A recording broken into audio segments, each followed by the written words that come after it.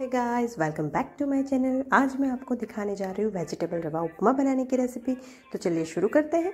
सबसे पहले एक पैन लिया हुआ है। उसके अंदर मैंने तीन से चार चम्मच डाल दिया है ऑयल और दूसरे साइड दूसरा पैन रख दिया है और उसके अंदर मैंने डाल दिया है सूजी सूजी को हम हल्का सा भून लेंगे। तीन से चार मिनट तक इसको एक साइड पर भूनते रहेंगे और एक साइड पर हम अपना मिश्रण रेडी करते रहेंगे उपमा बनाने का।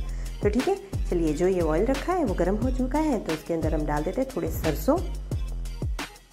सरसों चटकने लगे हैं। तो अब इसके अंदर से डाल देंगे हम एक चम्मच चना दाल, एक चम्मच हम डाल देंगे इसके अंदर मूंग की दाल। आप चाहो तो इसके अंदर एक चम्मच उड़द की दाल भी डाल सकते हो। अब डाल देंगे तीन से दस दस बारह पत्ते कढ़ी लिप्स और एक मैंने डाल दिया है लाल मिर्च, जो सूखा वाला आता है, वो। और ये मिश्रण को थोड़ा सा हम एक आध मिनट तक भूनने देंगे, जिसकी वजह से ये दाल है ना, वो एकदम से क्रिस्पी बन जाएँगी। उसके बाद हम क्या करेंगे?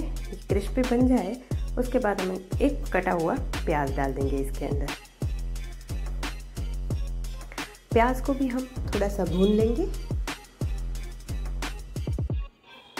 प्याज को आधे मिनट या एक मिनट तक भूनना तो बहुत ज़्यादा हो जाएगा। बस उससे ज़्यादा नहीं भूनना है। प्याज भूनेंगे तो उसका कलर टोन चेंज हो जाएगा। बस एक आध मिनट तक आप भून लीजिए और ये देखिए प्याज का कलर टोन चेंज हो जाए, उसके बाद उसका बाकी का जो वेजिटेबल्स है, वो इसके अंदर हम ऐड कर लेंगे।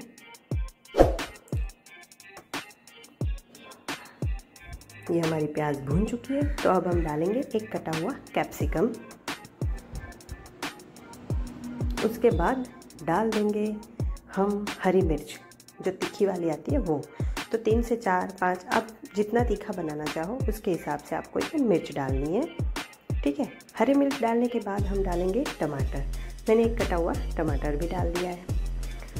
अब इस मिश्रण को हम अच्छे से हिला देंगे। आप चाहो तो इसके अंदर मटर भी डाल सकते हैं। और मैंने थोड़ी सी मूंगफली के दाने डाल दिए हैं। मेरे बच्चों को पसंद है, इसलिए डालें। आप चाहो तो स्किप कर सकते हो।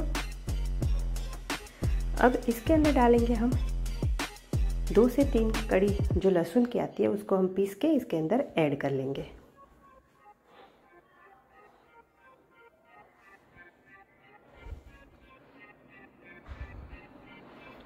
अब डाल देंगे छाछ। आप चाहो तो छाछ की जगह नींबू निचोड़ सकते हो। मैंने छाछ डाली एक कटोरी और बाकी का मैं पानी ऐड कर रही हूँ। थोड़ा सा खट्टापन आएगा तो उपमा बहुत ही ज़्यादा टेस्टी लगेगा। इसीलिए मैंने इसके अंदर छाछ डाल दी है। अब ये थोड़ा सा गर्म हो गया एक उबाल आने लगा है तो मैंने डाल दिया है दो से तीन चम्मच चीनी और डाल दिया है स्वाद अनुसार नमक। ये मिश्रण उबल गया अच्छे से तो अब हम इसके अंदर डालेंगे एक चम्मच घी। घी डालने से ना उपमा बहुत अच्छा बनता है टेस्टी बनता है, उसका स्वाद बहुत अच्छा आता है। अब क्या करेंगे थोड़ा थोड़ा करके हमने जो वो सूजी का आटा है, उसको भून के रखा है, उसको इसके अंदर डालते जाएँगे और मिश्रण को हिला के मिक्स करते जाएँगे।